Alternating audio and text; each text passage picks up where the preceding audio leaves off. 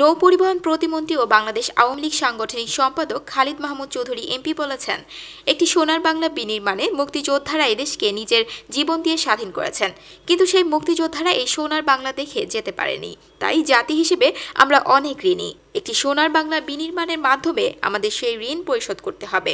নৌ পরিবহন মন্ত্রণালয়ের প্রতিমন্ত্রী হওয়ার নিজ নির্বাচনী এলাকায় দিনাজপুরের বোচাগঞ্জে এক বিশাল সংবর্ধনা সভায় প্রধান অতিথির বক্তব্যে তিনি আবেগপ্লুত কণ্ঠে এসব কথা বলেন।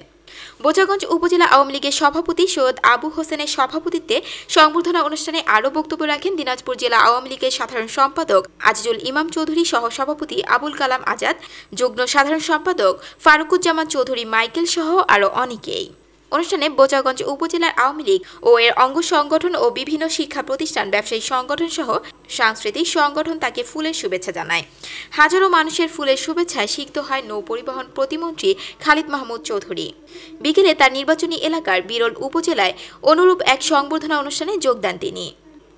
দিনাজপুর থেকে রাকিবুল ইসলামের তথ্যচিত্রে পল্লী টিভি।